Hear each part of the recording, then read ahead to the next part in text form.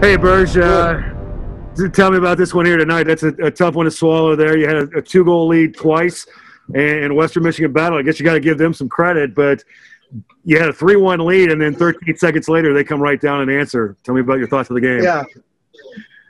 Uh, first 10 minutes, uh, really disappointed. Uh, um, after that, okay. You know, I, I, thought we at least defended. We didn't put up much of a fight offensively. Our, our lack of depth up front kind of showed itself, but we were defending, playing hard, I thought.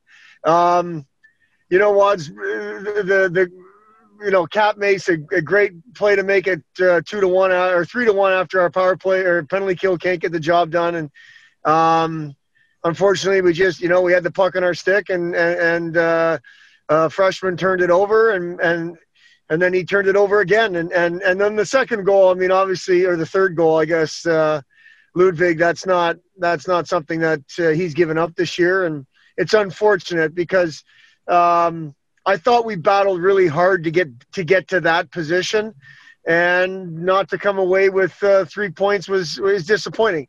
But the more times we're in this situation, hopefully the better we'll be next time. And I and I say specifically to those two. I mean, you know, the the the the, the freshman D was the same one on both plays, and and and Ludvig obviously uh, hasn't let in a goal like that all year long. So, yeah. it, you know, we're, we're, trying to learn how to win. You know that.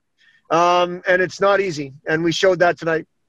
And, but full marks to Western. Yes, 100%. Full marks to Western Michigan to get on the bus on Thursday after what happened in their rink last weekend and come and take five or six points. You got to tip your hat. Yeah, absolutely. So now you turn your attention to Minnesota Duluth. So uh, how do you, you prepare this week now to get ready for them? What what's the, the thought process going to be as you get ready for the Bulldogs?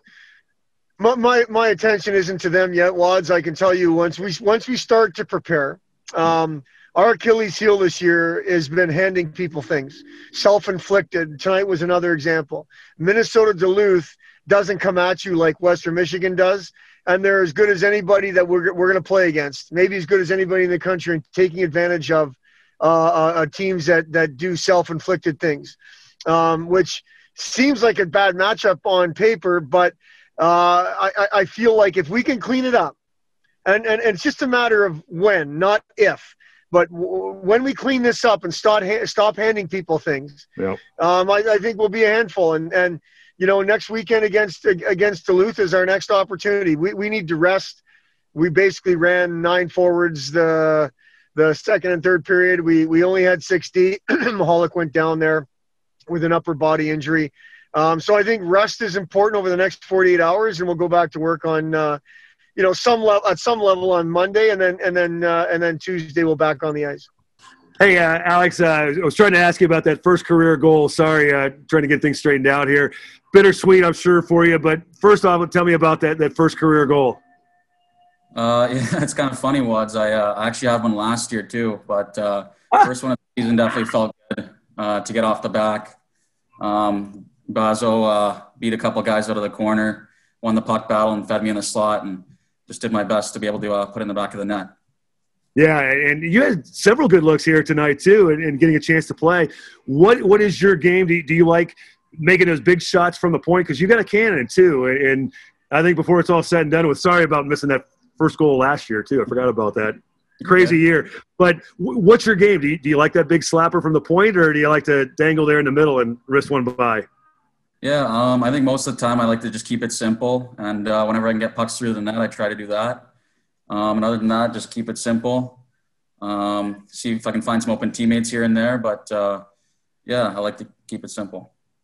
Yep, keep, and that's exactly what to do.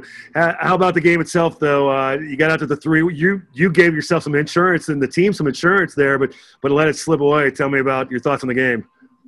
Yeah, I thought uh, I thought overall we had a pretty solid game, especially uh, after last night's game. Um, unfortunately, we couldn't come out with the win, but uh, now we look forward to next weekend.